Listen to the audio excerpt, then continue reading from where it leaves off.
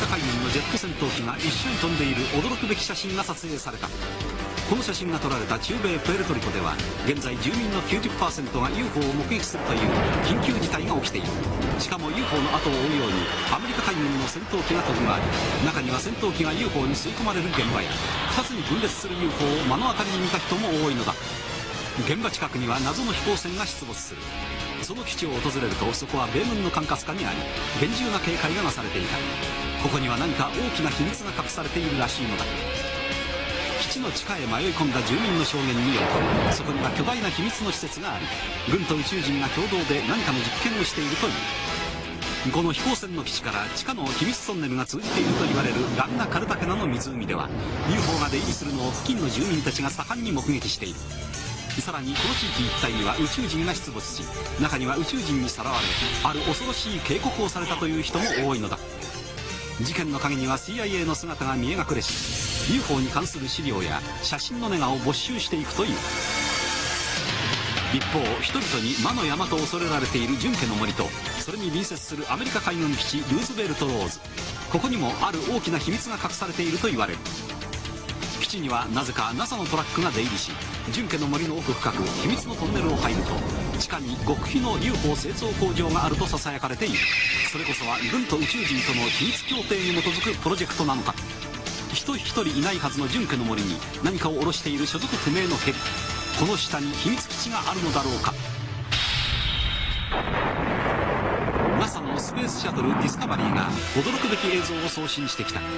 そこには宇宙を航行する UFO らしい物体や UFO と宇宙衛星とのスター・ウォーズを思わせる不思議なシーンが映し出されていたのだ。スター・ウォーズ計画。それは人工衛星兵器による宇宙防衛構想でレーガン大統領によって推進された。果たして宇宙では UFO と衛星兵器の戦闘が現実に行われているのだろうか。アポロ宇宙船に始まる NASA の宇宙計画には謎が多い。なぜアポロ計画は月の石を持ち帰っただけで突然打ち切られたのだろうか。そしてケネディ暗殺の真の理由は？スペースシャトルが捉えた映像には UFO としか思えないものも多い。この円盤も明らかに宇宙空間を飛行していたことが分かったのだ。さらに秒速4万キロという信じられないスピードで飛ぶ飛行物体をはじめ宇宙では我々に知らされていない奇怪な事実が次々に起こっているらしいのだ。中米メキシコでは連日のように UFO が白昼堂々と現れ数多くのビデオに収められている。この1年間だけでも UFO の実写ビデオは100本を超えているのだ。UFO はなぜかポポ山と呼ばれる山の周辺に現れることが多く中には UFO に至近距離で出会い宇宙人にさらわれた人も多いという。我々取材班が捉えた UFO は4つのライトをつけた巨大なものであることが分かった。昨年の皆既日食。おそらく全国民が空を見上げていたこの日。UFO は自らの存在を我々に知らせるかのように堂々と姿を現した。不思議なことに宇宙人にさらわれた人々はなぜか全く同じ警告をされたと証言している。それはポポ山の大噴火をきっかけに世界各地にこの世のものとは思えない大災害が次々と起きるというのだ。日本の一部も海中に没することになると予言したという。では一体なぜ？宇宙人は人類の滅亡する日を知っているのだろうか。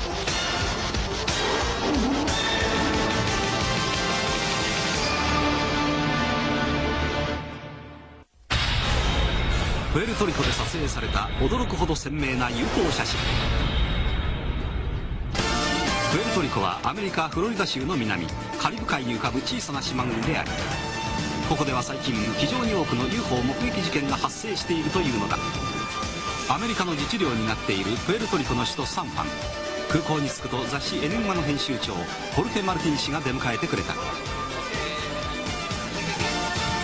例の鮮明な UFO 写真を撮影したアマウリ・リベラ氏は海岸近くに住んでいた。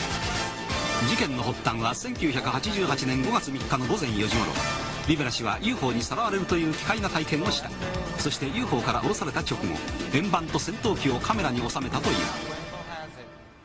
あの日は霧が多く見通しの悪い晩でした。勤めていたナイトクラブの仕事が終わって車で家へ帰る途中突然運転席の窓の外から何かが一緒に走ってるようなパタパタパタパタという足音が聞こえてきたんです。その日はちょうど母の日に当たっていたのでクラブの仕事は忙しかった。午前4時頃リベラ氏はくたくたに疲れて人に着いた。なぜか見たこともないほど深い霧が辺りに立ち込めている。その時突然何かが走っているような奇妙な音が車の外から聞こえてきたのだ。それはこの世のものとは思えない不気味な生き物だった。見るといつの間にかその生き物は前方に回っていた。おやっと思った瞬間いきなりドアが開いた。この怪物は2人いたのだと思ううち意識を失ってしまった。気がつくとこういう得体の知れない部屋らしいものの中にいて周りにも何人かの人間が同じように座っていました。そこは UFO の中の不思議な空間だった。壁はなく座っている椅子も見えない。周りの人々は急にさらわれてきたらしく服装がまちまちだった。その時どこからともなく宇宙人が現れたのだ。一見人間と同じ姿形をしているがどことなく不気味な雰囲気で例の生き物を従えている。宇宙人は別の銀河系から来たと名乗り両脇の生物は遺伝子操作で作った生物学的ロボットだと告げた後3次元の立体映像を見せたのだ。その立体映像には今思い出しても恐ろしい光景が映し出されたんです。それは巨大な隕石が地球に衝突しプエルトリコの半分が水没するシーンで始まった。大勢の人々の悲鳴が聞こえてきたそしてホワイトハウスをはじめ世界中の政府の建物が次々に崩れていくのが見えたんです。宇宙人は地球上の全ての人間がこれまでの考え方を根本から改め全く新しいライフスタイルを始めない限りごく近い将来世界的な大災害が起き人類の半数近くが死ぬことになるだろうと言った。そして日本の国土も半分近くは海中に没することになると恐ろしい予言をしたというのだ。次に気がついた時には車がなぜか全然別の場所に止まっていたんです。リベラ氏が意識を取り戻すと辺りはすっかり明るくなっていた。いつの間にか2時間以上の時間が経ってしまっていたのだ。その時上空からジェット機の音が聞こえてきた。見上げると巨大な UFO が音もなく対空している。突然ジェット戦闘機が現れ UFO を追跡し始めた。リベラ氏は夢中でシャッターを切ったという。UFO の周りをアメリカ海軍の主力戦闘機 F14 トムキャットが盛んに飛び回っている様子がはっきりと映っている。一体なぜ F14 はこれほどまでに UFO に接近して飛んでいるのだろうか。UFO は中心部から青い光を発している。何回もシャッターを切ったが映っていたのは4枚だけだった。リベラ氏はジェット機が UFO を必死に追いかけ回しているようだったという。ベラ氏の写真をコンピューター分析の専門家に鑑定してもらうことにした。写っている UFO の機体と周囲の空間の明るさを比較してみる。二重露出や合成写真の場合明るさの違いがシャープに出るが実写写真の場合は自然なカーブを描くという。この UFO と思われる、まあ、物体のところをスパッとこう切りますと背景からあのグラデーションがこう徐々に徐々にかかってきてますからおそらくあのこれは実写であることは間違いないと思いますね。合成ですともっとこうボコッとキレがいいんですよね。実写写真であることが証明された。それにしても UFO とアメリカ海軍のジェット戦闘機がなぜ一緒にいたのだろうか。このプエルトリコにはリベラ氏の他にも同じような不思議な光景を見た人は非常に多いのだ。小学校の事務職員を務めるウィルソン捜査氏もその一人である。捜査氏はこの自宅の上空を UFO と F14 が飛び回るのを見たというはじめうちのかみさんが見つけたんですがあの2階のドアのところから見ているとものすごく大きな三角形をした UFO が飛んできたんです。その後ろから米軍のジェット戦闘機が2機追いかけるようにこっちへ飛んでくるのが見えました。UFO は野球場くらいの大きさがあり周りを飛び回るジェット戦闘機はまるで蚊かハエのようにしか見えなかったという。双眼鏡で見ると UFO の細かいところまでがよく見えました。ジェット戦闘機は UFO と追いかけっこをしてるみたいだったんです。捜査士は UFO が移動する後を追って近くの空き地へ走った。UFO はあのヤシの木の30メートルくらい上にじっと対空していました。すると驚くべきことが起こったんです。追いかけてきた一機のジェット戦闘機があっという間に UFO の中へ吸い込まれてしまったのだ。あまりのことに捜査士は呆然としてしまったさらに UFO が遠くの山を旋回して戻ってくる途中。残りの1機が接近した瞬間跡形もなく消えてしまったという。次に起こったのは信じられないような出来事でした。UFO から突然眩しい閃光が走ったかと思うとその UFO が2つに分裂したんです。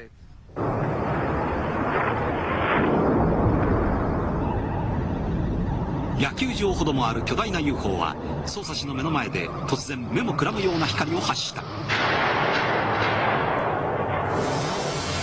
そして2つに分裂した UFO は音もなく捜査士の方へ近づいてきたと思うとそれぞれが別の方向へゆっくりと飛び去っていったという。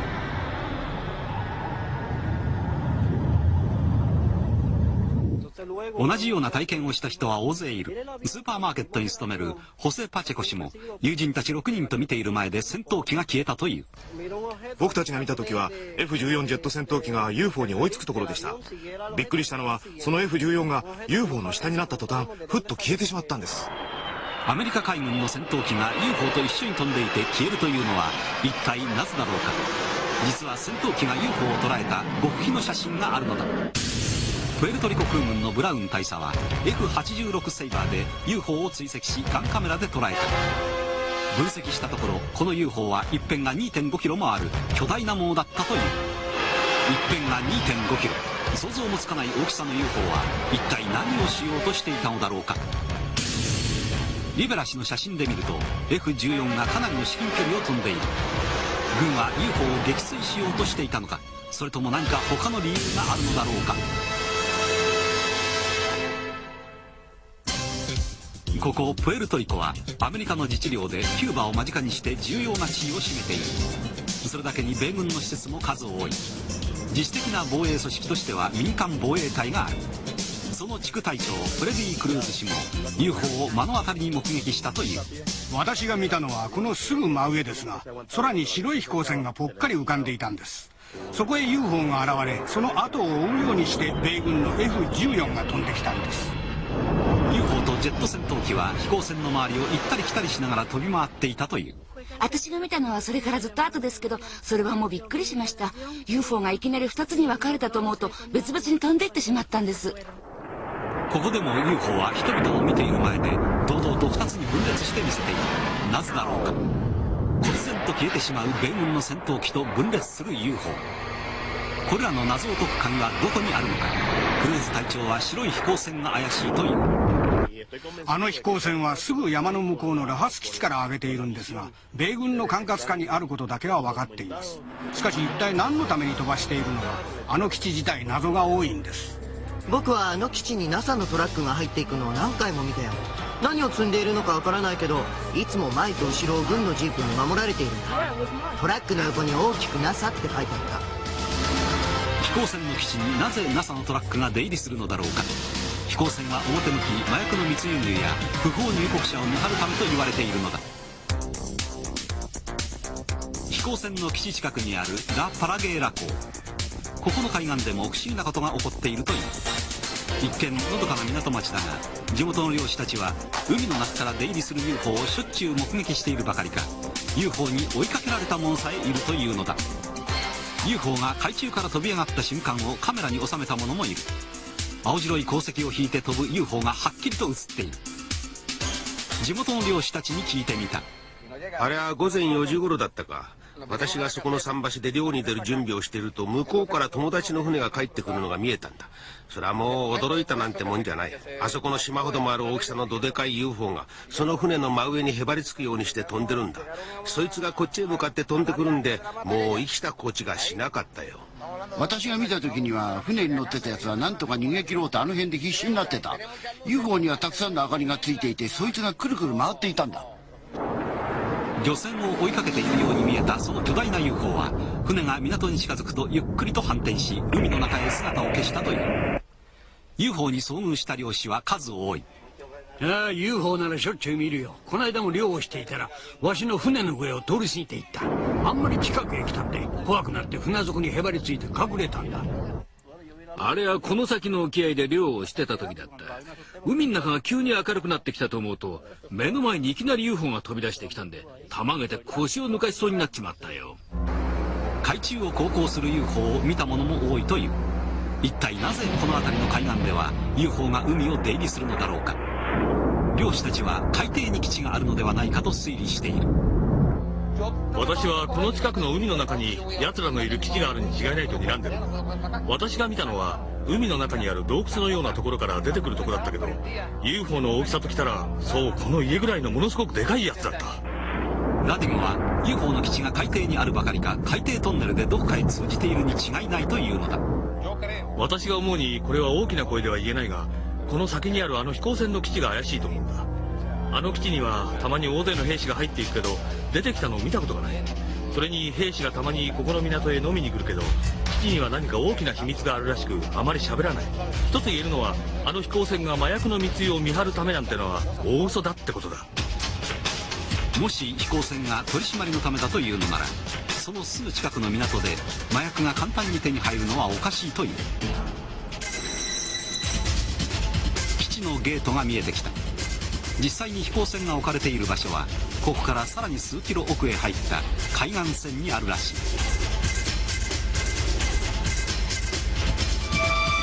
ゲートには一般人立ち入り禁止の標識が立てられている。ここからは飛行船の影も形も見えない。ゲート脇の監視所を訪ね警備兵に基地の取材を申し入れた。許可証がない者は誰一人ここから先へ入れるなという命令なんだ。この飛行船の基地はどこの管轄下にあるんですか？米軍だよ。その他にもいろいろな軍関係機関が関わっているがね。NASA は関係してるんでしょうか？NASA も関係している。NASA が一体ここで何をしてるんですか？さあ知らないな。あまり余計なことを言ってはいけないことになっているんだ。NASA の関与をあっさり認めたのは意外だっただがそれ以上は何を聞いても答えようとしなかった。聞きたいことがあるのなら基地司令官に聞けという。早速司令官に取材を申し込むことにした。さらに驚くべき証人が現れた。飛行船基地の地下トンネルに迷い込み軍と宇宙人共同の秘密施設を見た人物がいるというのだ。目撃者の証言ではある湖からも UFO が出入りし事件の陰には CIA の姿が見え隠れするという。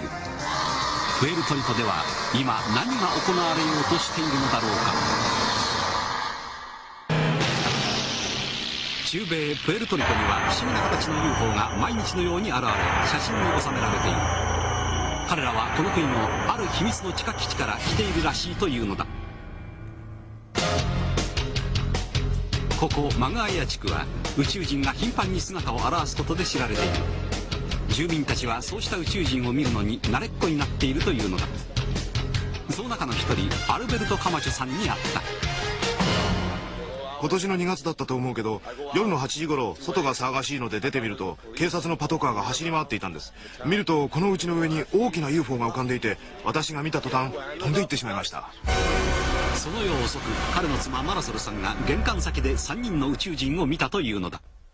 夜中の3時頃でしたがふと目を覚ますと玄関の外で何か変な声が聞こえるんです。それで起きてリビングの窓から外を見てびっくりしちゃいました。その奇妙な声は玄関先のポーチのあたりから聞こえてくるようだった。そっと鎧戸を開けてみるとそこには3人の小さな生き物がいた。好奇心に駆られてドアから出てみるとそのうちの1人が植木鉢の植物の葉を触っていた。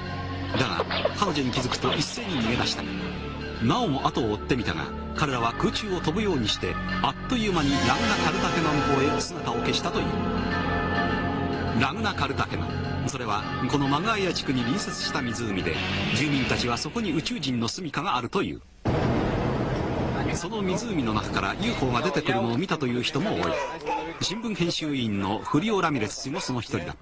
ラミレス氏はプエルトリコの新聞に自分のコラムを持っている地元の名士でもある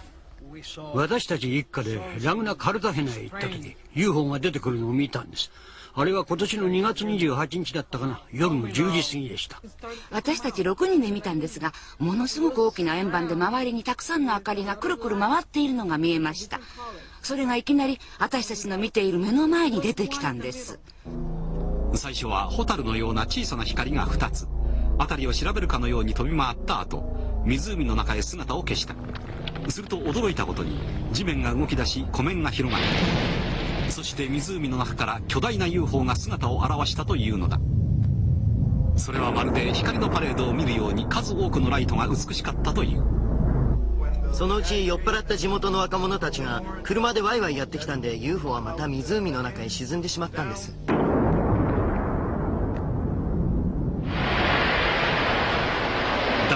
騒々しい若者たちの一団が通り過ぎると UFO は再び姿を現した。そしてラミレス一家の方へ向かってきたというのだ。私たちは恐ろしくなって逃げてきてしまいました。実はあの湖から例の飛行船基地へは地底のトンネルでつながっているという証人が現れたんです。名前は言えませんが彼は偶然地下の秘密基地へ迷い込みその見取り図も書いてきたというんです。ラミレス氏はその見取り図を新聞に公表した。例の飛行船の基地の地下に宇宙人と軍の共同の秘密施設があるというのだ。そこはエレベーターで地下深く降りたところに作られた巨大な地下基地で軍の特殊部隊によって厳重に警備されている。地下には UFO が何機も格納できるほどの大規模なスペースが用意され軍と宇宙人が共同で何らかの秘密実験を行っているらしいというのだ。この秘密基地で一部始終を目撃したという人物は飛行船の基地近くの野原で穴に落ちてここに迷い込んだというここには UFO が出入りする地底の水路がありラグナ・カルタヘナの湖に直結しているというのだ。改めて地図で見ると興味深いことがわかる。飛行船の基地とラグナ・カルタヘナ湖は地底トンネルで連結されていると言ってもおかしくないほど近い。そして UFO が海中から出入りする地点と UFO と戦闘機が目撃される地点。いずれも事件の現場は近接したエリア内にあるのだ。上空から飛行船の基地を見ると円形にコンクリートで固められている。小高い丘を一つ隔ててランナカルタケナ湖がある。この湖の底と飛行船基地の地下とが秘密の水路でつながっているのだろうか。地下基地の見取り図を新聞に載せて以来軍のヘリやジェット戦闘機が私を凶悪するようにうちの軒先すれすれにまで接近してくるんです。ラミレス氏の自宅ばかりか新聞社にも脅迫電話がかかるという。ラグナ・カルタケナ湖を訪れることにした。この辺り一帯は環境保護の名目のもとに立ち入り禁止区域になっている。何重もの鉄条網の先に広大な湿地帯が広がっているのだ。双眼鏡で見ると湖は意外に小さく見える。この湖面が広がるのだろうか。ふと気づくと行き止まりのはずの道路に一台の不審な車が止まっていた。辺りには全く人影がない。見張られているのだろうか。帰り道ラグナ・カルタケナの方向に黒い煙が上がるのが見えた。いつの間に火がつけられたのか湖の周りの草が燃えている。これは一体何を意味しているのだろうか。水中ダイバーのアンディも宇宙人に出会った一人だ。このすぐ先の丘の上でした。家へ帰ろうと車で丘を登る途中見たこともない生き物がいきなり飛び出すのが見えたんです。このボケロン地区でも宇宙人に出会った人は多い。だがダイビングでエビやアワビを取って暮らしを立てるアンディは自分がそのような体験をするとは夢にも思っていなかった自宅近くで道路を曲がろうとした途端突然奇妙な生き物が車の前を横切ったのだ。その後の記憶がなぜか途切れてしまっているんです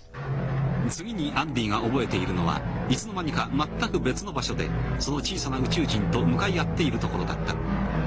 宇宙人はアンディにしきりに何かを訴えかけているようだったというその先の記憶はまた薄れてしまって何が起きたのかよく覚えていないらしい次に思い出したのはその宇宙人が話しているうちに体が軽くなって上の方に引き上げられるような感覚でした。気がつくとどうやら UFO の中らしかった。アンディはいつの間にか座っていて不思議な立体映像を見せられていたという。その映像は凄まじいものだった。世界中であらゆる国の建物が次々に崩壊し人々が逃げ惑いながら死んでいく。宇宙人は地球上の人間がこれまでの考え方を改めない限りこうした未来が準備されている。それもごく近い将来起きると言ったのだ。そのことがあってから2週間ぐらい後のことです。ドアをノックする音がしたので当てると男が2人いて CIA だと言ったんです。アンディはまさか CIA が訪ねてくるとは思ってもみなかった。彼らはアンディに宇宙人との体験を聞きただした後このことを人に言うと大変なことになると脅したという UFO と戦闘機の写真を撮ったリベラ氏のもとにも CIA が現れていた。あの写真を撮って10日目ぐらいの朝突然 CIA がやってきたんです。彼らはこの辺では見かけないスーツ姿の男たちで CIA のマークの入った何かの書類を出して見せたんです。CIA の男たちはリベラ氏の撮った写真のネガをよこせと要求した。リベラ氏がそんなものは知らないと言うとすぐに家探しが始まった驚いたことにいきなりネガを隠しておいた戸棚へ直行したという。だがそこにないことを知るとがっかりした様子だった。彼らがなぜそこまで知っていたのかが不思議だった。その日の朝目が覚めた時になぜか変な予感がしたんです。それでネガをいつもの隠し場所から出して犬小屋の中にテープで留めて隠したんです。CIA の一人が犬小屋の方へ歩いていくんで私はもうダメかもしれないと観念しました。だが犬が激しく吠えたために彼らは諦めたという。CIA は今でも私のことを見張っているに違いありません。でも私は事実は事実として伝えるつもりなんです。一体なぜ CIA が顔を出してきたのだろうか。我々の知らない何か大きな秘密が隠されているらしかった。全ての謎を解き明かす鍵は例の飛行船の基地にあるのかもしれない再び基地を訪れた。基地司令官にインタビューを申し込んでおいたところ意外にも OK の返事が来たのだ。だが麻薬の密輸を監視するだけの飛行船にしては基地の警備が物々しすぎる。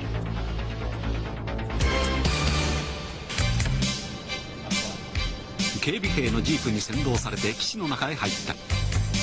ゲートから飛行船までの途中にはそれらしい施設は何もない。この広大な敷地が単に飛行船を係留しておくだけのために必要だとはとても思えないのだ。すごいでかいよあれ。ようやく飛行船が見えてきた。想像以上に大きい。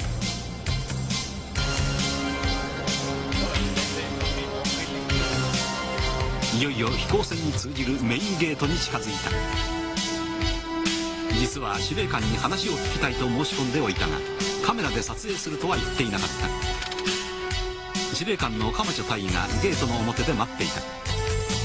メインゲートから中は立ち入り禁止だという。どこかに強力なレーダーがあるのか画面に鋭いノイズが走る。カマチョ大尉の態度はどことなく不自然だった。ここの飛行船が行っている任務は言ってみればつまり、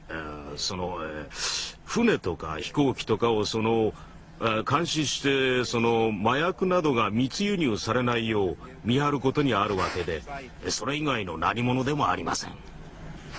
CIA は関係していないかを尋ねてみた。即座に否定した。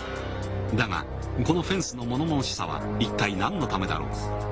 ここは米国関税局の管理下にあり軍や情報機関は関与していないという。この地下に UFO の基地があるという噂だがと聞くととんでもないと否定した。だがしきりに眼鏡に手をやり落ち着かない様子だ。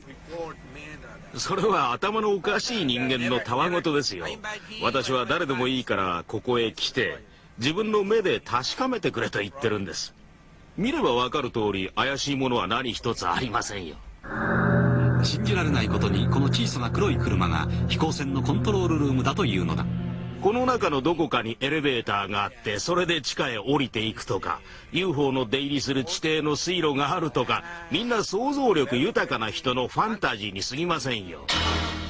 先ほどから見ているとこの小さな小屋にしきりに兵士が出入りしている。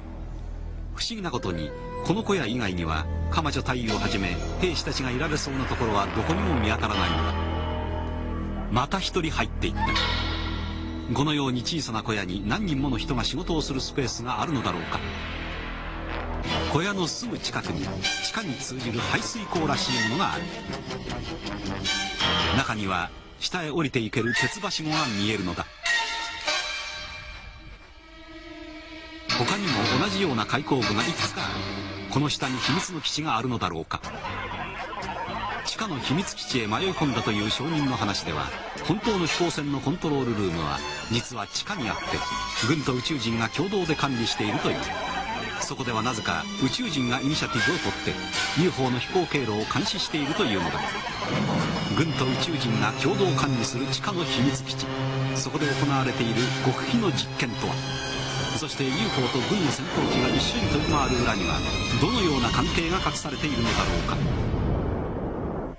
ここで UFO を見たと言って騒いでいる人がいるそうですが私は一日中ここにいるのにまだ一度も UFO を見たことがありません。もしこの地下に UFO の基地があるとしたら誰よりもまず私が見るはずですがね。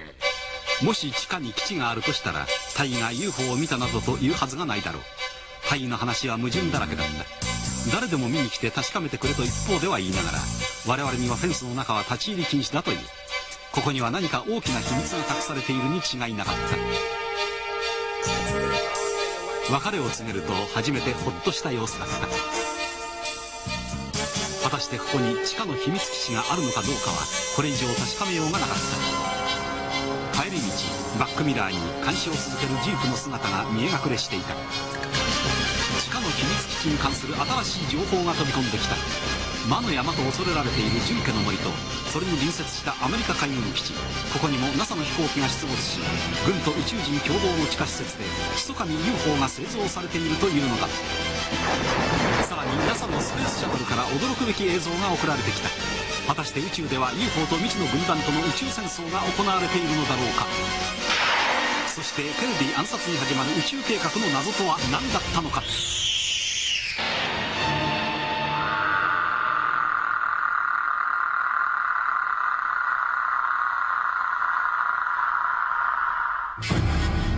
UFO と米軍共同の地下秘密基地があると言われる中米プエルトリコ。果たしてそこでは UFO 製造実験が行われているのだろうか。ここプエルトリコでは堂々と姿を現す宇宙人に出会ったという人も多い。アフンタス市では住民の90%が UFO を目撃していると言われ市長はアメリカのブッシュ大統領に緊急の調査を依頼する要請状を送ったという。この市ではほとんどの住民が UFO が飛ぶのを見るという緊急事態とも言うべき状況です。そこでこの UFO が一体何であるかの調査をお願いしたいとブッシュ大統領に手紙を送ったわけです。市長の要請状は市当局として住民からの問い合わせに答えられず困っている。なんとかアメリカの政府の力で事態を解明してほしいと訴えている。みんながブッシュ大統領からの回答を待っているんですがまだ届いていません。市の警察でも調査を進めていますが実態はつかめていないのです。アフンタス警察でもロビエス所長をはじめ警官の80%以上が UFO を見ているという。現在市民からの報告を集計している段階ですがその数から言うと市民の90%以上が見ていることになります実は私自身もこの辺りの山間部に麻薬密輸ルートの調査で部下を連れて行った際 UFO が飛ぶのを見ました。それは銀色の円盤でかなりの至近距離を水平飛行していったんです。実はその夜遅く我々のキャンプに宇宙人が現れたんです。その夜の深夜2時過ぎテントの外で何かが動き回る音に目が覚めたロビエス所長はそっと表へ出てみた。辺りはしんと静まり返っている。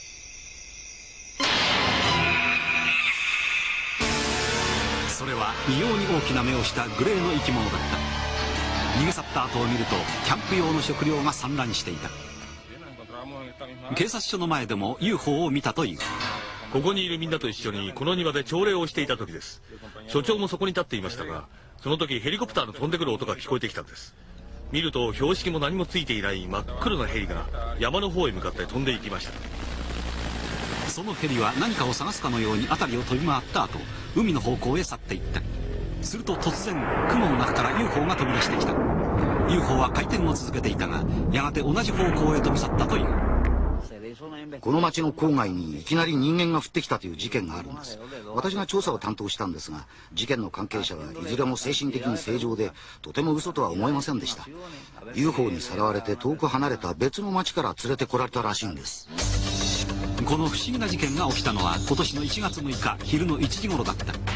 ペレスさんという農家の親子が馬の世話をしていて見つけたという。あの日は昼の弁当を食べた後息子と2人でここで馬の世話をしていました。するとどこからともなくゴーゴーという変な音が聞こえてきたんです。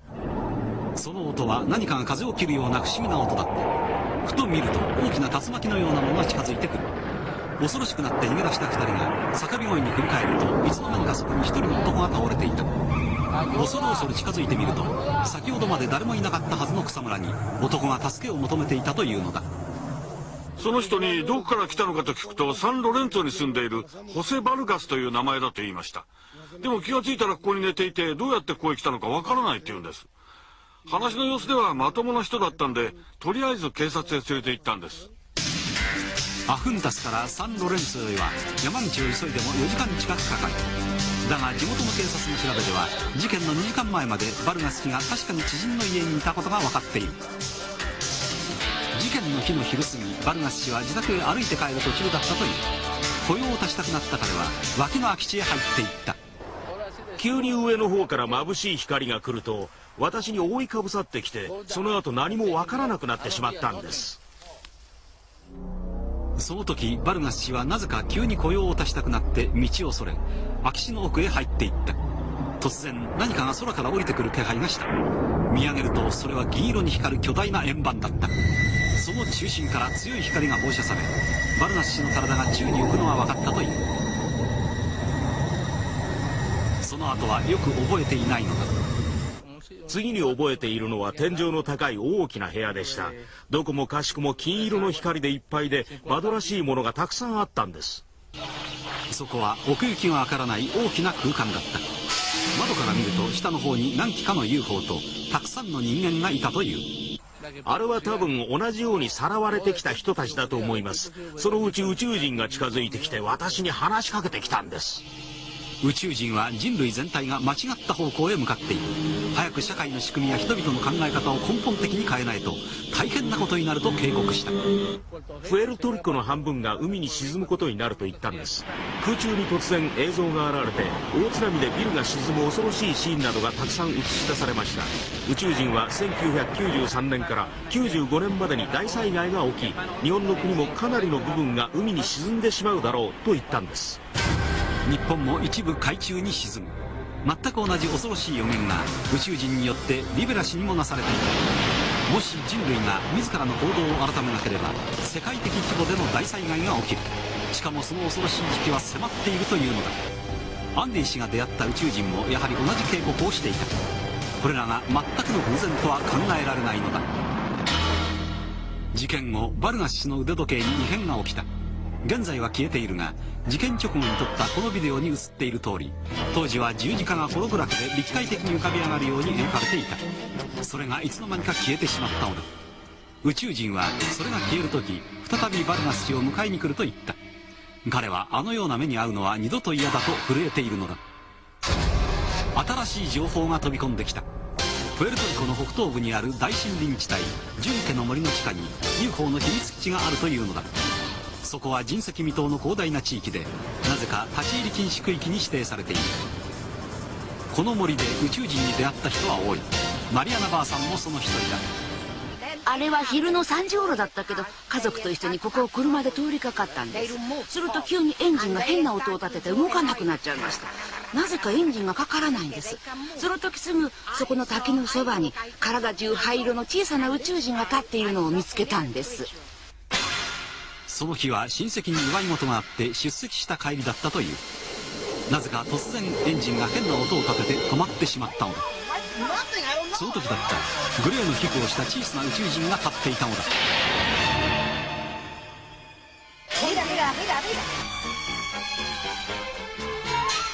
その宇宙人はあっという間にささっとまるで飛ぶようにして森の中へ見えなくなってしまったんです。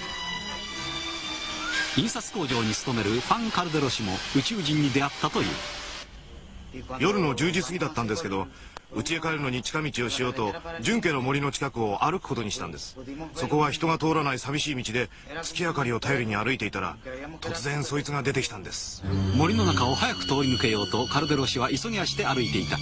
すると突然目の前に小さな宇宙人が飛び出した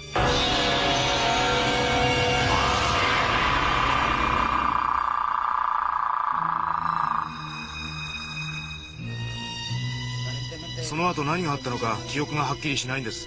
その間5分だったのか50分だったのか気がついたら全然別のところにいました。次に覚えているのは突然目の前の森に大きな裂け目ができ強い光の中から UFO が出てくるのが見えたことだった。ホルケ・マルティン氏はこの森でさらに興味深い事件が起きているという。軍の秘密の情報筋によると1989年にあの純家の森に UFO が墜落し回収された機体と宇宙人の死体はすぐ隣の米海軍基地から本国へ移送されたというんです。純家の森に隣接してルーズベルト・ローズアメリカ海軍基地がある。UFO と宇宙人は一旦ここへ運び込まれたのだ。当時アメリカからはもちろんのことドイツや日本からもそれぞれ専門の技術者が調査研究のためここへ緊急派遣されたというんですとすると日本人の中にもここへ派遣されてきて UFO の機体や宇宙人の死体を目の当たりに見た人がいるのだ。NASA もまたここに姿を現しています。その当時毎日のように NASA のマークをつけた飛行機がこの基地上空を行ったり来たりして飛び回るのが見られているんです。ここにもまた NASA が顔を出している。UFO と NASA は一体どのような関係にあるのだろうか。全ての謎を知る人物。プエルトリコ民間防衛局長官。ノラ大佐に会うことにした。なぜかテレビのコントロールルームらしいものがある。何に使われるのだろうか。ノラ大佐は一見女才なさそうな人物だった。ありがとう。確かに純家の森には3つの墜落事件がありました。ただしそれは UFO ではなく通常の飛行機事故ですご存知かどうか知りませんがあそこは気流が悪く危険なので飛行制限区域になってるんです。ところが一方ではあの森の近くにいる人々が UFO を見たりあそこに降りてくる宇宙人を見たということが起こっています。確か10年か12年前のことですがこのプエルトリコで不思議な動物が発見されました。それは鳥の一種なんですがエイリアンバードと名付けられていて翼を広げるとまるで小さな宇宙人のように見えるんです。もちろんそれは地球上の鳥だということが分かってるんですがね。とするとマリアナばあさんたちが見たのは全て鳥だったとでも言うのだろうか。野良大佐の話は人を煙に巻くようななぜか要領を得ないものばかりだった。我々はこの国での UFO 現象を全て解明しようと調査しました。例えば赤外線カメラで上空からラグナ・カルタヘナ湖を撮影し湖底に熱を持った物体が潜んでいるかどうかを調査しましたがそのようなものは見つかりませんでした。に従って多くの人々が湖から飛行船基地へ地底の水路があると主張していますがそんなことはありません。逆に飛行船が飛んでいる時もし雲が多いと飛行船自体が雲に紛れて UFO と見間違われることもあるのではないかと思うんです。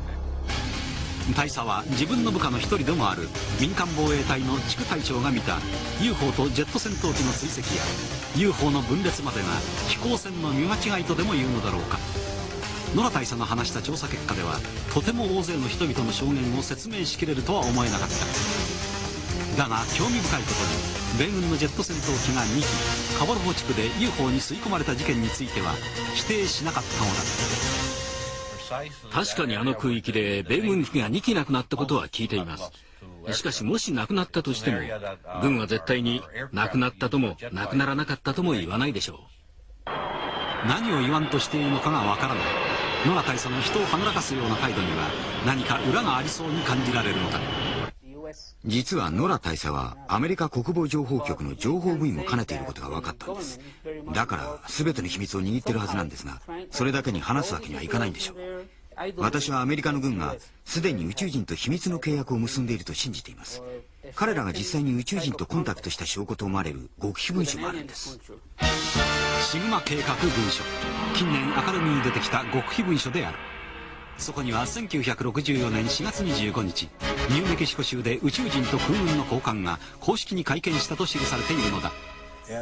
その時彼らの間で取り交わされた密約によると宇宙人から優れたテクノロジーをもらう条件の一つとして宇宙人が人間をさらって実験するのを黙認するということがあったのです。そしてアメリカでは宇宙人にさらわれ何かの器具を体の中に埋め込まれたという人が続々と現れている。テンプル大学のジェイコブス博士によると人口の7%もの人々が宇宙人にさらわれ何らかの実験を施されているという。一方宇宙人との密約に基づいて UFO を製造している秘密基地がネバダ州のエリア51と呼ばれる地域にあると言われている。このエリア51の中には軍と宇宙人共同の秘密の UFO 製造工場があり毎週決まった日にテスト飛行が行われているという。だが考えてみるとそこまで人々に知られた場所で重大な秘密実験をいつまでも続けるということがあり得るだろうか。実はプエルトリコこそが本当のエリア51ではないかと私は睨んでいるんです。というのはプエルトリコがもし州に昇格するとアメリカで第51番目の州に当たるからです。51番目の地域すなわちエリア51これは偶然の一致とはとても思えないんです。しかもここにはカリブ海最大と言われるアメリカ海軍の基地がありそこと地下のトンネルでつながっていると噂されるジュンケの森がある。ジュンケは空からも地上からも立ち入り禁止区域になっているのだ。全ての事実を突き合わせてみると純家の森の地下には真のエリア51ともいえる秘密の UFO 製造工場があると考えられる。んですそこは軍の手によって厳重に警備されおそらく道路もないため空からしか行くことはできませんしかし一般には飛行禁止区域になっていて近づけないんです。地下工場では宇宙人と軍の共同実験が行われているはずです。私は UFO が戦闘機に追われているのではなく実は UFO は戦闘機にエスコートされているのではないかと思っているんです。ヘリで純家の森の上空近くを飛んでみた。制限空域内には入り込めないが可能な限り近づいてみる。人一人通ることを許されないうっそうとした熱帯雨林だ。突然奇妙なヘリを発見した。気流が悪くて捉えにくいがどこにも標識がついていない。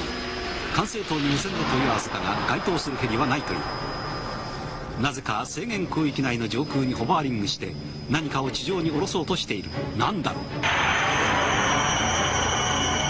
あの下に地下への秘密の入り口があるのだろうか。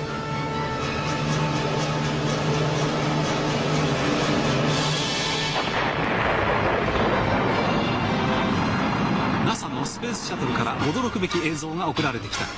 宇宙空間をうごめく長さ数百メートルの機械な物体。そして宇宙戦争を思わせるレーザービームが飛び交い時速100万キロもの超高速で接近する UFO 折しもロシアのエルチン大統領が謎の宇宙防衛構想を発表した。果たして宇宙空間では我々の知らないところで一体何が行われているのだろう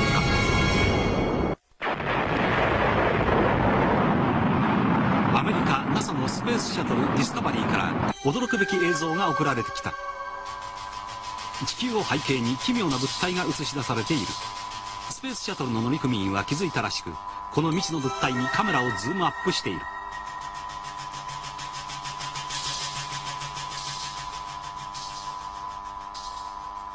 これは一体何だろう？くねくねと動く中空のチューブのようにも見える。宇宙空間は真空なだけにどのような物体でも一旦動き出したらそのままの姿勢を保ち続けるはずだ。しかも一定の速度で一定のコースを移動するはずなのだ。だがこの物体は移動のコースも奇妙な動きも全く一定していない。このことはこの物体自体が自らこのような不思議な動きをしていることになる。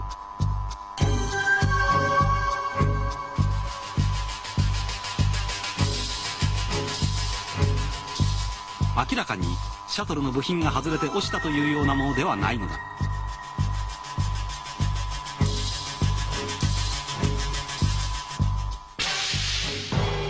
も物体の大きさは画面に占める割合から見ても数百メートルはある巨大なものだ。とすると一体何だろうか？未知の宇宙生物だろうか？宇宙空間では我々の知らないことがまだまだ起こっているようだ。ここには明るく光る物体が145度の急ターンをするところが映っている。こうした数々の奇怪な現象を NASA は知っていながら我々に発表しないのは一体なぜだろうか？アメリカワシントン DC のダレス空港宇宙からの不思議な映像をキャッチした人物がメリーランド州ダンダークの町に住んでいるアマチュア無線家で UFO 研究家でもあるドナルド・ラッシュ氏を訪ねることにしたドナルド氏とは3年前の取材でも顔を合わせている Hi, nice to see you again. How you doing? Hi, nice to see you. How you doing? その日は宇宙に打ち上げられたスペースシャトルからの映像が衛星放送で送られてくることは知っていましたのでビデオの録画予約をして仕事に出かけたんです。ところが帰ってきてそのビデオを巻き戻してみた途端思わずびっくりしました。そこには地球をバックに一つの光体が移動しているところが映っていた。だが次の瞬間その光体が信じられない急角度で方向転換をしたのだ。拡大してみると物体が145度の急角度でターンしている。しかもその物体を狙って発射されたかのように一筋の光線が走り抜けるのだ。私はこのビデオのコピーを NASA に送ってこれが何であるかを説明してほしいと言ったんです。すると信じられないことに NASA はあの物体をはじめ全ての抗体は単なる氷のかけらに過ぎないと言ってきた。私がビデオを送ったある NASA の科学者はこれはまるでスター・ウォーズのシーンそのままだと言っていました。つまり UFO に向かって発射されたビーム兵器の光線を UFO が避けるために145度の急旋回をして逃れたのではないかというんです。スター・ウォーズ。それは SDI 計画とも呼ばれる宇宙防衛システムの構想だ。レーガン大統領によって推進されたこの計画は打ち上げられた敵の核ミサイルを宇宙の人工衛星兵器から発射するレーザー光線で撃ち落とすというものだ。とするとそのような宇宙戦争が UFO との間に繰り広げられているとでも言うのだろうか。シャトルから送られてきた映像には数多くのミサイルを発射したような抗体が映っている。宇宙でのビーム兵器発射のシーンとも見えるのだ。ここにはさらに驚くべきシーンが映し出されている。画面中央上よりに大きな光る物体がある。矢印のところから現れる光体が一直線に飛んで命中した途端物体が消滅するのだ。もう一度見てみよう。光が薄く見えにくいが矢印のように飛んで物体に命中するのだ。これは宇宙兵器から発射された未知の弾丸の命中シーンだろうか。これらスペースシャトルからの映像分析を現役の NASA の技術研究員に依頼していた。メリーランド州ボルチモアに住むヴィンセント・ディピートロ氏だ。ディピートロ氏にも3年前火星の人面建造物の分析で取材している。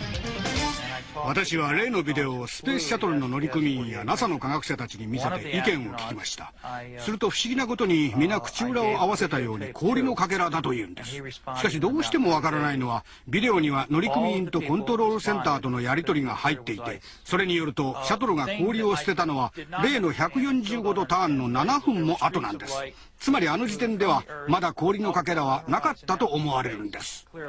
確かにコントロールセンターとの交信が入っている。Discovery Houston for JO. Yeah, Jan, go ahead. Morning, JO. We uh, predict the maneuver to the supply water dump attitude will take about 15 minutes, and in order to start the dump on time, we'd like for you to do that maneuver now. We need it to uh, prevent contamination. Okay, I understand you want us to uh, start the uh, supply water dump now, or at least initiate the maneuver now. もう一つわからない映像がありますそれは UFO そのものの形をした移動物体です それは145度ターンの映像の12分後に捉えられていた。画面左下から上昇していく物体がそれだという。動きがギクシャクしているのはシャトルのカメラがこの物体をリモートコントロールでフォローしているためだ。拡大してみると尾翼と垂直尾翼がついた飛行物体に見える。これは一体何だろう？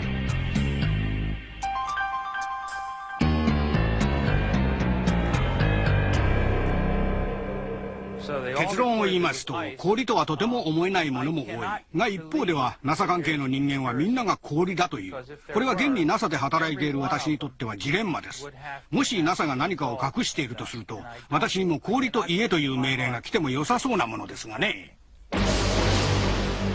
ディピートロ氏の話はいつもの彼に似合わず歯切れが悪かった。それは彼が NASA の現役の技術者だからだろうか NASA は UFO とはっきりわかる映像が捉えられない限り本当のことは言わないでしょう。氷だの宇宙のゴミだのと言ってごまかすに決まってますよ。ところで NASA が衛星放送の番組の中で世界各国の宇宙開発機関を紹介しているものがあるんですが地球をバックに不思議な物体が飛び出してくるシーンがあるんです。それは NASA の PR 番組とも言うべきもので各国の宇宙開発機関の名前がボードになっていて次々に飛び出してくる背景になっている地球は明らかにスペースシャトルから撮った実写だと思われるのだ。この後矢印の部分に注意してほしい。猛スピードで飛び出してきた物体が宇宙空間で対空しながら揺れている。これは一体何だろう？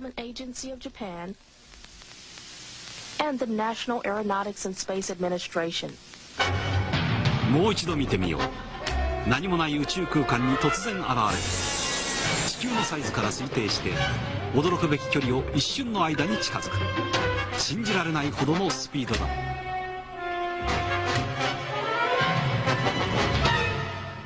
おそらく物体の速度は少なくとも時速100万キロ以上。それが一瞬のうちに停止するとても地球上のものとは思えないんです。とすると地球外生物の乗り物 UFO としか考えられない。映像はスペースシャトルから撮られたと思われる UFO はあっという間にシャトルに接近し一箇所に滞空しながらこちらの様子を伺っているように見える。スペースシャトルを監視しているのだろうか。今から3年前の1989年3月スペースシャトルからのものと思われる更新が傍受された。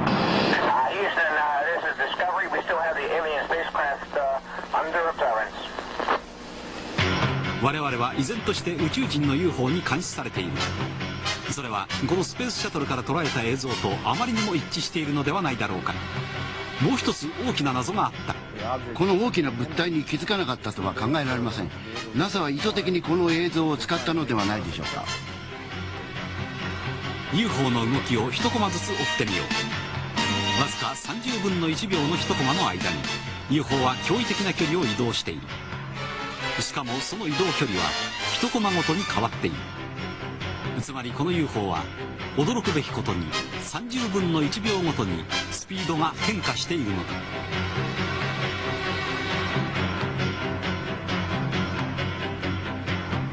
NASA がこのようにはっきりと UFO が映っている映像を PR 番組の背景にわざわざ選んだ理由は何か。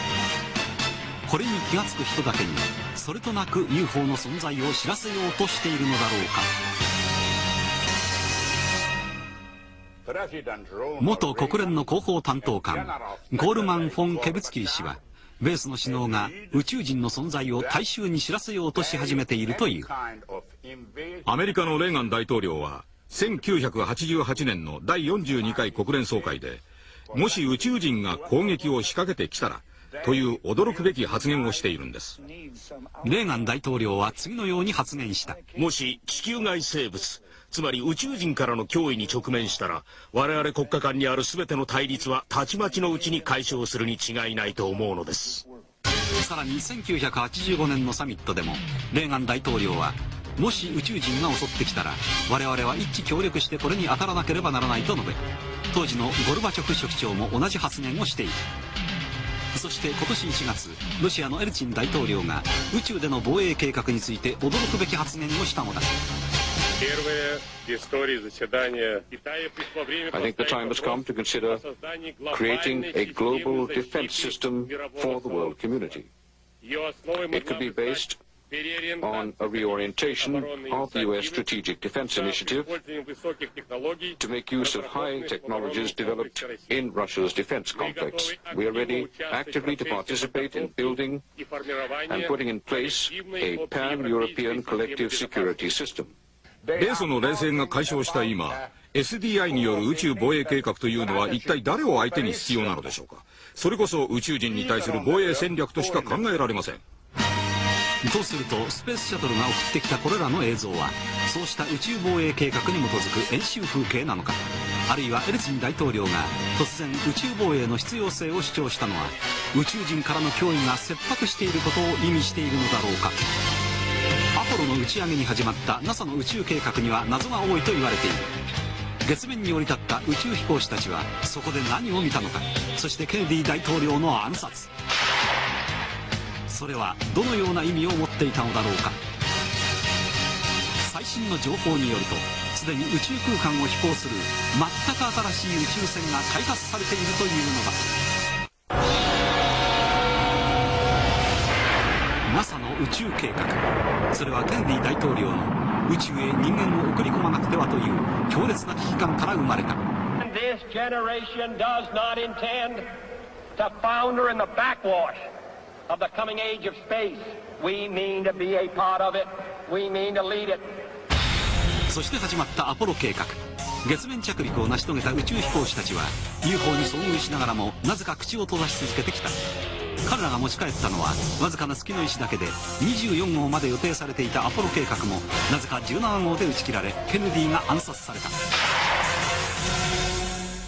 元宇宙飛行士のブライアン・オリアリー博士も NASA の宇宙計画には謎が多いという。そこにはある大きな秘密が隠されているというのだ。NASA の宇宙計画の裏には UFO 問題が大きく影を落としているように思われます。これまでに撮影された膨大な写真のうち公表されたものはわずか数パーセントに過ぎないんです。テキサス州ヒューストンのジョンソン宇宙センター。ここのライブラリーから奇妙な写真が発見された。アポロ12号が撮影したこの物体は何だろう？どう見ても典型的な UFO の形そのものだ。王冠のような物体は光を発しながら宇宙空間にぽっかりと浮かんでいる。写真の隅にある数字が NASA の撮影したものであることを証明している。だが NASA はこの物体が何であるかを説明していないのだ。アポロの着陸船や司令船とも形が全く違う。切り離された部分の一部だろうか。唯一可能性が考えられるのは着陸船のカバーだが比較すると両者の違いは明らかなのだ。アポロ宇宙船の窓に船内の物体が映ったものだろうか。専門家に分析してもらった。これがハッセルブラッドで撮ったとするとあの確か標準が80ミリ。ですから被写界深度ってかなり深いんじゃないかと思うんですね、そうすると手前のもんだとしたらばこういうピントは出てこないんじゃないでしょうかね。実体のあるものには間違いないと思います。アポロの中のものが反射した可能性はないと思いますね。とするとこのような UFO がアポロ12号のそばを飛行していたのだ。ここにも不思議な写真があるどうやら宇宙船から月面をバックに撮られたものらしい。写真の右上にクレーターが写っている。正し書きによるとある種の結晶の実験と書かれている。それにしても奇妙な映像だ。アポロ16号から月面を写したこの写真にはクレーターの口に何かの機械を思わせる影が写っている。クレーンだろうか。光の加減で実体は見えないがこのような形の物体がそこにあることは確かなのだ。これはかなり衝撃的な写真だ。人工的に掘られた露天掘りの跡のようなものが写っている。月面では何が起こっているのだろうか。アマチュア天文家が天体望遠鏡で捉えた月面にも不思議な飛行物体が写っている。UFO だろうか。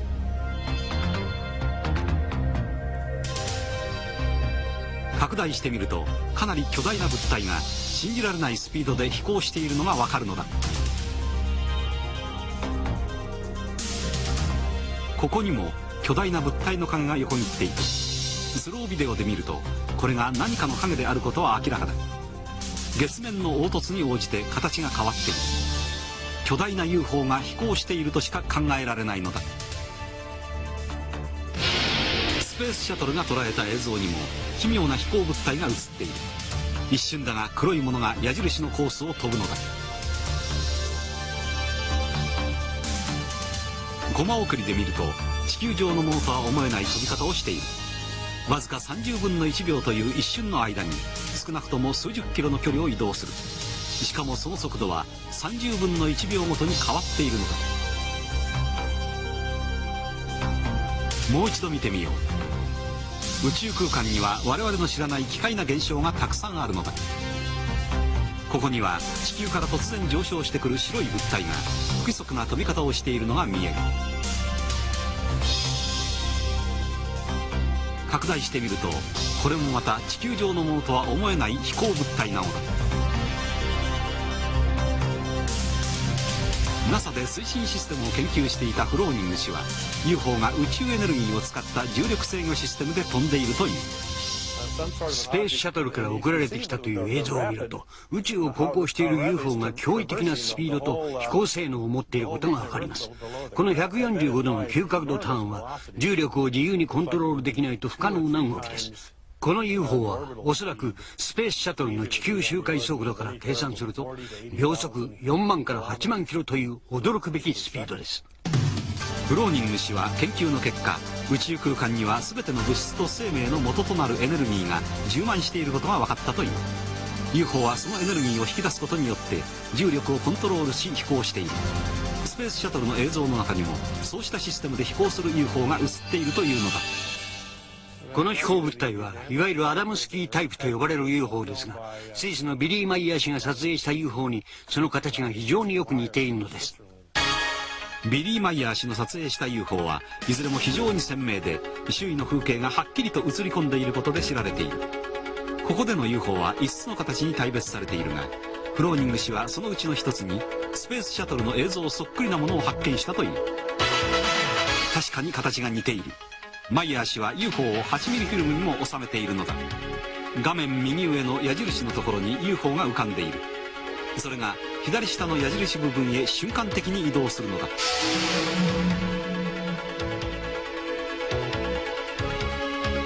もう一度見てみよう。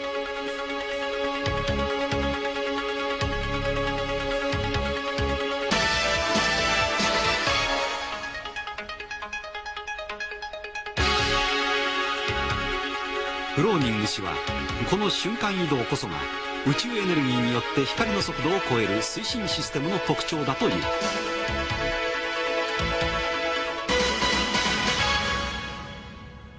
こうした推進システムによる飛行物体の周囲にはある種のエネルギーが放出されていてその放射パターンが映像をコンピューター分析すると現れてきます。これはマイヤー氏の撮った UFO 写真を高度なコンピューターテクノロジーを使って分析した画像ですがこの上の方の赤い部分は UFO から何らかのエネルギーが放射されていてそれが周りの空気をイオン化しその結果熱を発生していることを表しているんです。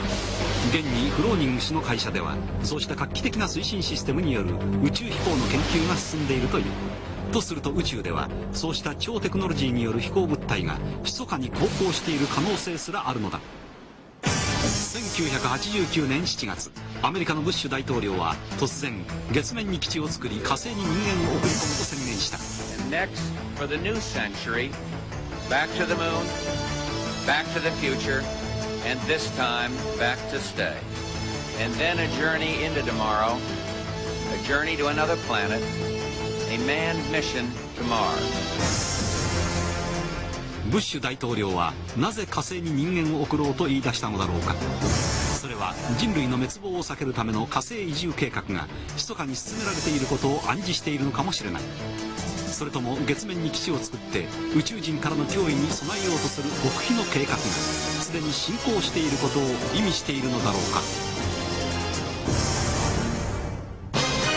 最近中米メキシコでは連日のように UFO が現れビデオカメラで撮影されている。UFO を実写したビデオの数は総数100本以上に及び白昼堂々と姿を現す UFO や毎晩のように飛び回る怪しい光体がメキシコシティ近郊にある大火山の周辺で目撃されているのだ。驚くほどの至近距離で UFO に出会い宇宙人にさらわれた人々は人類の未来に関するある恐ろしい秘密を聞かされたという。その秘密とは一体何だろうか。ヘリの大群のすぐ下に現れた UFO がビデオに撮影された。そして分裂と合体を繰り返す UFO や奇妙な形の UFO が続々と現れカメラに収められている。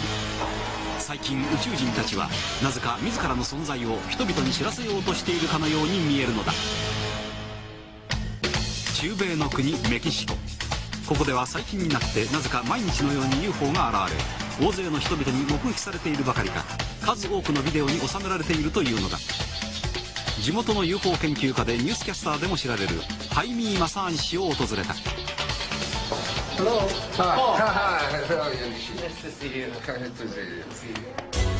マサーン氏はこの国で誰一人知らない人はないという有名なテレビキャスターである。早速 UFO の実写ビデオを見せてもらった。マサーン氏が知っているだけでも去年から今年にかけてのわずか1年間に撮られたビデオはなんと100本以上にも上るというこれは去年のメキシコ独立記念日に撮影されたビデオである。当日盛大に行われた軍事パレードでヘリの大群を撮影していたヴィンセンテ・サンチェス氏はヘリのすぐ真下に対空する UFO を発見した。よく見ると UFO が時々機体を傾けるたびに強い光を反射しているのがわかる。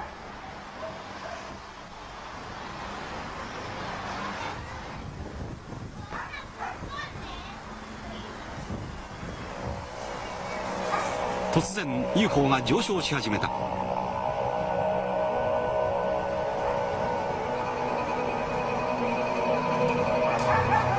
撮影者のサンチェス氏はなぜか近所の犬が騒がしく吠え始めたという。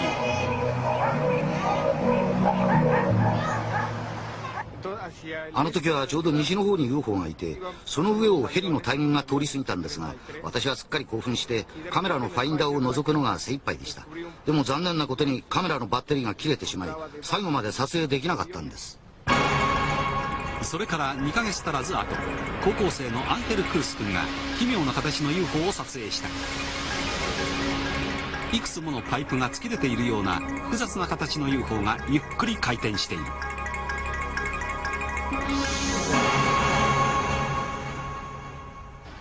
初め母が気がついて大声で叫んだ時はちょうどあの辺を飛んでいました。僕は慌ててカメラを取ってきて映したんですが最後はビルの影に隠れて見えなくなってしまったんです。このような形をした物体が白昼上空を飛んでいるとはとても信じられなかったという。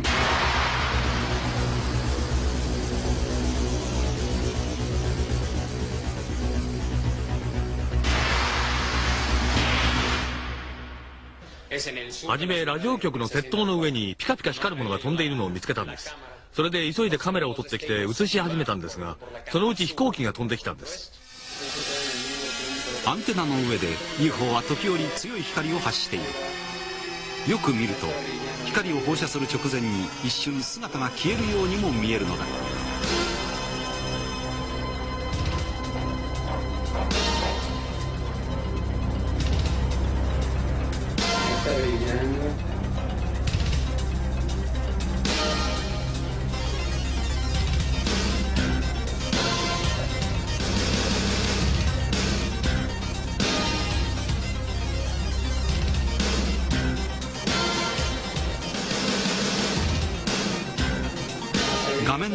方から飛行機が近づいてきた。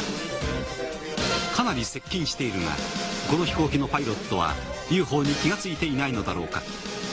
何事もなかったように去っていく。後で問い合わせてみたがどこの飛行機かは確認できなかったという。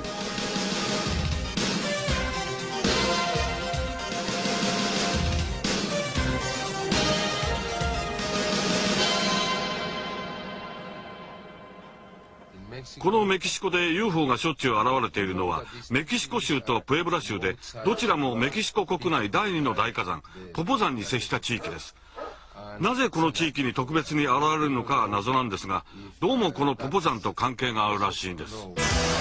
ポポ山は標高5452メートル世界でも有数の大きな火山である。なぜこの火山を中心にした地域に UFO が集中して現れるのだろうか。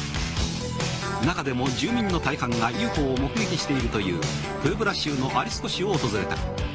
ロザレス市長も事態を真剣に受け止めているという。集計によると市民の80%が UFO を見ていることになります。特に夜間ポポ山の周辺で見られることが多くビデオもたくさん撮られているんです。政府も UFO についてはオープンに受け止めているんですが対策がないようで市当局としても独自の調査を始めているところです。プエブラ州警察でも警官の目撃者が多く警察本部長自身が UFO を写真に収めたという。私が指揮を執って麻薬密輸の取り締まりに行った時のことですがそれらしい飛行機の明かりを発見したので高感度カメラで撮影したんです。その写真は新聞にも載ったんですが普通このように機体が傾く時着陸灯の光の漏れで機体ナンバーが映るんで必ず写真を撮るわけです。しかしこの場合機体ナンバーは映っていませんでした。その怪しい光は一見こちらに向かってくる密輸入のセスナの着陸灯に見えた。だが写真を撮った瞬間いきなり猛スピードで接近してくると警官たちの頭上を飛び去ったという。これがその写真ですが分析すると機体ナンバーはない代わりに大きな円盤の縁に沿って小さな明かりが15個並んでいることが分かったんです。このような UFO がこの地域を飛び回っているらしいのだ。このポポ山の周辺にしょっちゅう UFO が現れるというので裾野近くの小高い丘には毎晩のように UFO ウォッチャーたちが集まって観測を続けている。この辺りの野原に駐車している車だけでも200台を超えるという盛況ぶりでビデオカメラを持ってきている人も多いのだ。これは昨年の8月に撮影されたビデオだが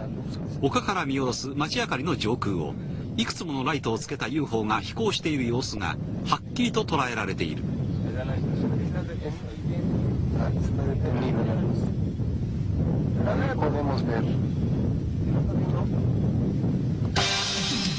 拡大してみると UFO には複数のライトが規則正しくついているのがわかる。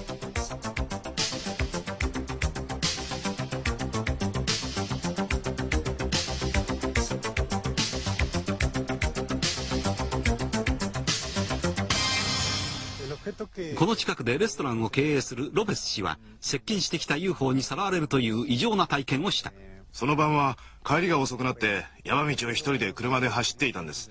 するとズズーッという気味の悪い音がどこからともなく聞こえてきてその途端遠くに見えていた明かりがぐんぐん近づいてきたんです。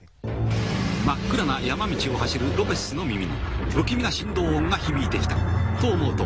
巨大な円盤がみるみる近づいてくるのが見えたのだ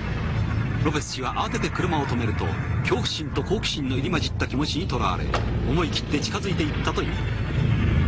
UFO は直径15メートルくらいはあるだろうか。時折強い光を発して静かに揺れながら対空している。下の方には中心近くに透明なレンズ状の出っ張りがあり光が点滅していた。時 UFO の窓に宇宙人らしい人影が見えた。次に気がつくと青白い光が充満した部屋に寝かされグレーの皮膚をした小さな宇宙人がロペス氏に恐ろしい警告をしたというのだ。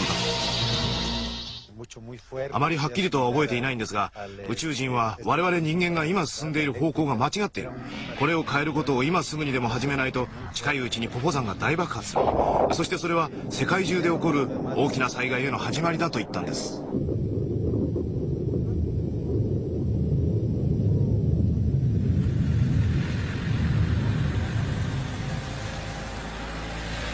ロペス氏が聞いたという宇宙人からの警告はプエルトリコで何人もの人が宇宙人に聞かされたという人類滅亡の予言と全く同じと言っていい。とすると近いうちに本当にそのようなことが起こるのだろうか。高校生のサラザール君も UFO を撮影している。初めは UFO があの辺にいる時カメラを回したんだけどこっちの方ですごい光を出したんです。アリスコの街の上空に対空している UFO が見事に捉えられている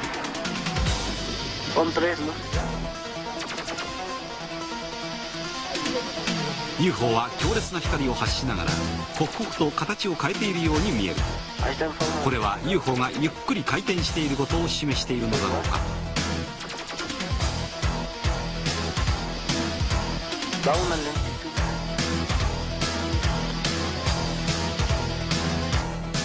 今夜もビデオカメラを持ってきたという。サラザール君にインタビューしようとした時突然 UFO が現れた。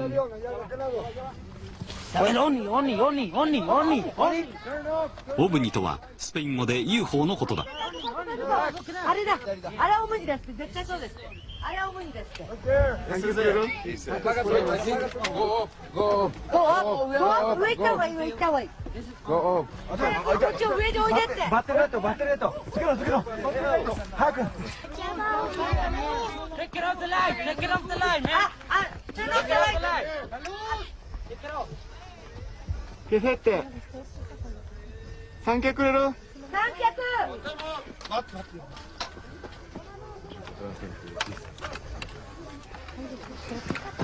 いい？はい。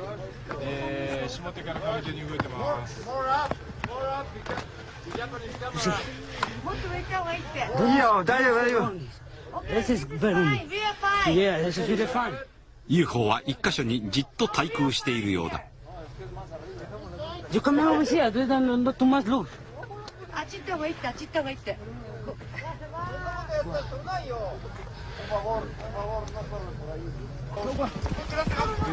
さらによく見ようと丘の上の方へ移動することにした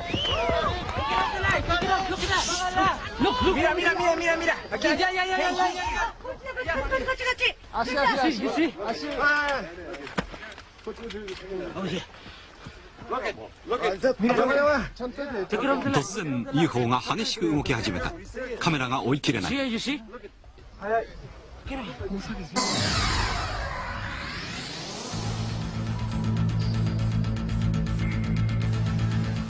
拡大してスロービデオで見ると UFO は4つの明かりが三角形とその中央に並んで光っていることがわかる。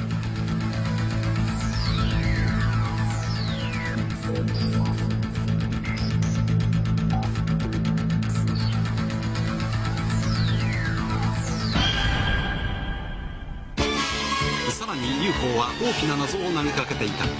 昨年の皆既日食の日に自らの存在を見せつけるかのように堂々と姿を現したのだ。そして驚くべき事態が学者によって発見された。ポポ山が大噴火を起こす前兆がすでに始まっていたのだ。果たして宇宙人の警告は現実のものとなるだろうか。昨年7月11日メキシコで皆既日食が見られた。この日はおそらく国民全部が空を見上げていたことだろう。まるでその時を選んだかのように UFO が白昼堂々と姿を現したのだ。日食の様子を撮ろうとビデオカメラを用意していた人が多かった。この UFO は典型的な帽子型をしている。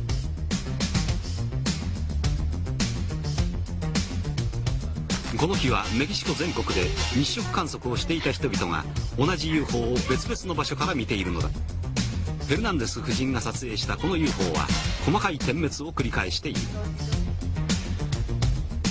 先ほどの UFO とは時間がわずかにずれて撮影されているのだ。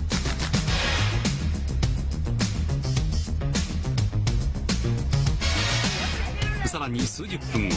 別な形の UFO が捉えられている。これは一見パチンコ玉のように完全な休憩をしているのだ。UFO はなぜこの日を狙って姿を現したのだろうか。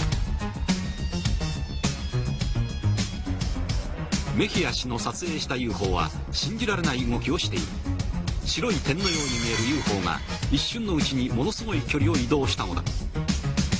スロービデオで見ると UFO は静止している状態からわずか10分の1秒という一瞬で大変な距離を飛んで再び急停止している。これはまさに驚異的な飛行距離だ。もう一度見てみよう。とても地球上のものとは思えないのだ。なぜ UFO は日食の日を選んで現れたんでしょうか？まず第一に彼らは地球上の人間以外にも知的生物がいる事実を知らせようとしたのではないでしょうか？そしてもう一つ彼らは UFO を見せることで何かを警告しようとしたんだと思うんです。UFO は夜間メキシコシティの上空にも堂々と姿を現した。画面の下の方をバスが通過するのが見える。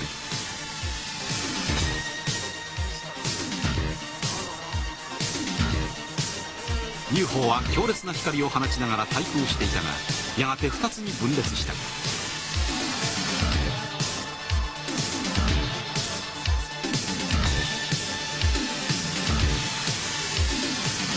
考古学者のニコラオ氏は UFO にさらわれ宇宙人から人類へのメッセージを聞かされたという。あれは今年の2月でしたか。私は仲間の学者たちと一緒にポポ山の麓にキャンプを張って何日も泊まりがけで考古学の調査をしていた時のことです。夜の7時頃みんなで夕食の支度をしている最中でした。ニコラオ氏はなぜか強烈な眠気に襲われたという。一人ふらふらとキャンプから離れたニコラオ氏は近くの草原にスリーピングバッグを持ち出すと翌朝の作業開始に合わせて目覚ましを8時にセットしそのまま眠ってしまったという。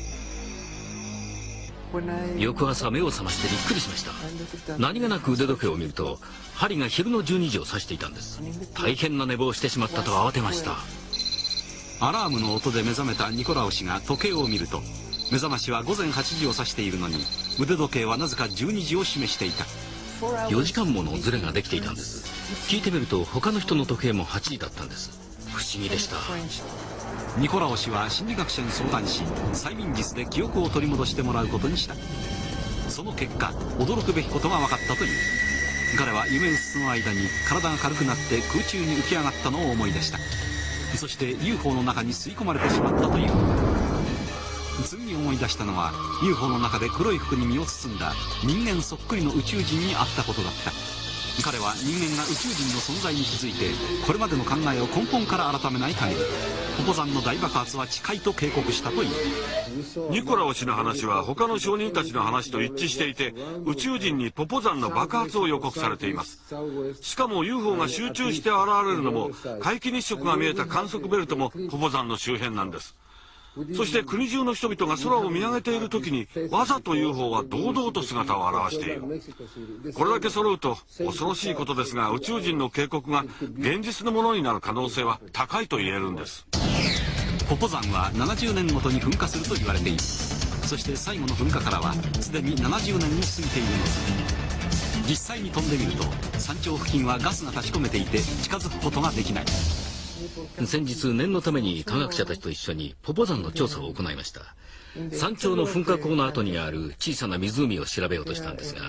そこで恐ろしい事実を発見したんです。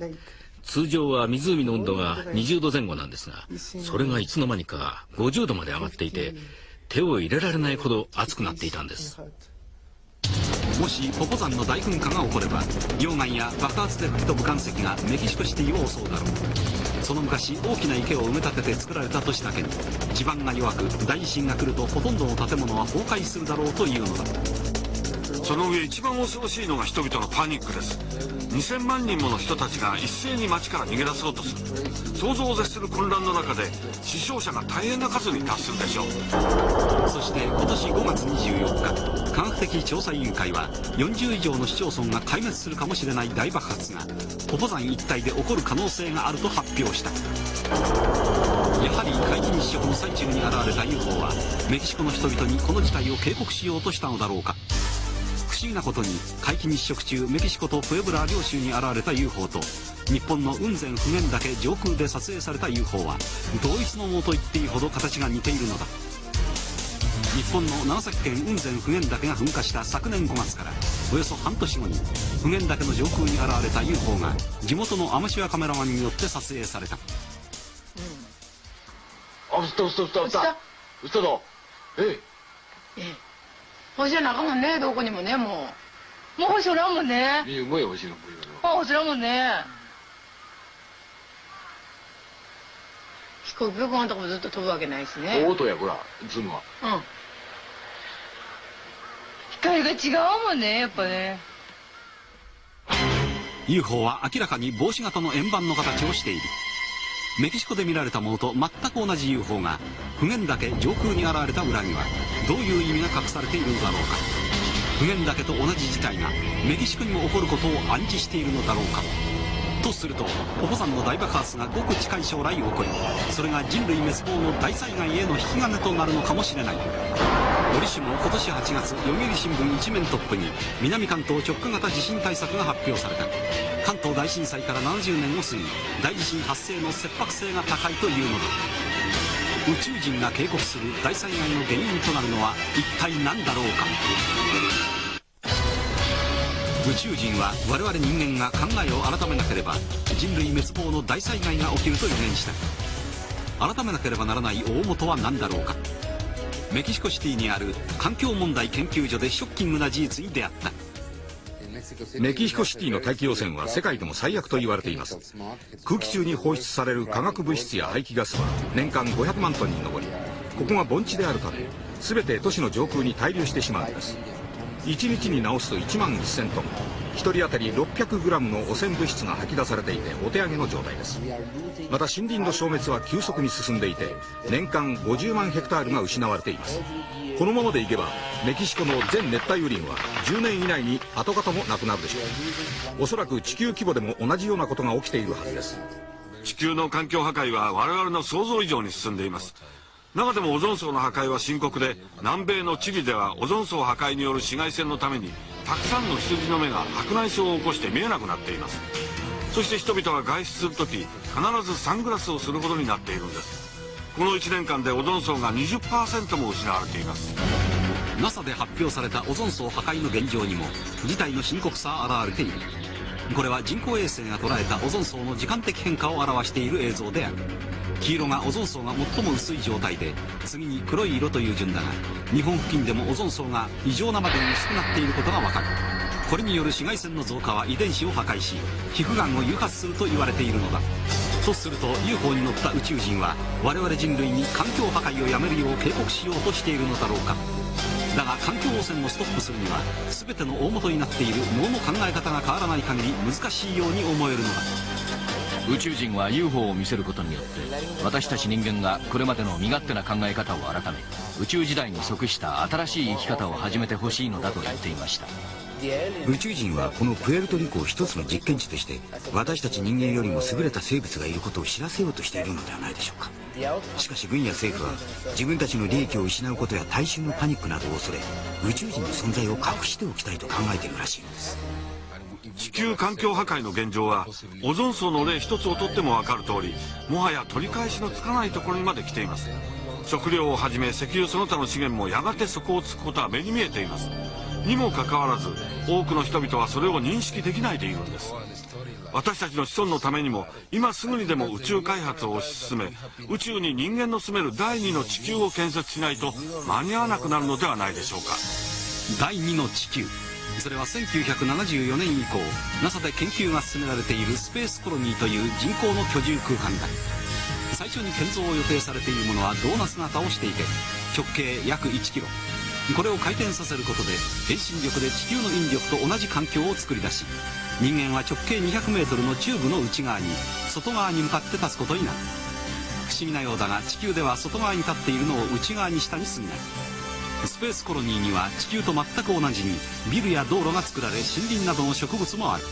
昼夜の別も自由に調節できるのだ。果たしてどこまで実現の可能性があるのか。宇宙科学研究所を訪れた。スペースコロニーっていうのはもともとその現存する技術を基盤にしてますから、まあ、お金があったら現現在の技術でできると。地球というものがこう環境問題とかあるいはその人間がだんだんこう地球を使いづらくしていくと。そうすると人間はやはり宇宙へ発展していかざるを得なくなると。そういった時に地球の資源を使ってスペースコロニーを作ったんではこれはもうすぐ破綻するのは目に見えてるわけですから宇宙の資源というその無尽蔵の資源を使って新しい地球新しい人間の生活圏を作り出す。新しい地球。エネルギーは24時間フルに照りつける太陽光で発電するためほとんどただに近く無尽蔵に手に入る森や湖鳥や動物などもいて最高に快適な環境になるはずなのだ。食料は農業専門コロニーで作られるため害虫や農薬の心配がなく工場も専用コロニーなので公害問題は発生しない。では第1号の建造費はどのくらいかかるのだろうか。1970年代後半の試算で、まあ、現在に直すと約40兆円から50兆円というんですけどもたとえ、まあ、23倍になったとしても、まあ、100兆円ぐらいという。それで1万人も住めるということになればこれはそんなに高いものではないと思いますけどね。第1号が完成すればあとは何号でも安く簡単に作れるでしょう。それよりスペースコロニーの建設によって莫大なお金が世界中に回り戦争を起こさなくても世界経済が順調に移行するというメリットが大きいと思います。それに世界中の何百万人もの失業者が食を売ることになるのです。宇宙に第二の地球を作り出す。この共通の目的に向かって世界中の人々が力を結集する時さまざまな問題のほとんどは解決への道へ向かうのではないだろうか。コロンブスの新大陸発見500周年を迎えた今我々人類は宇宙という大海原に乗り出す時期に来たのかもしれない。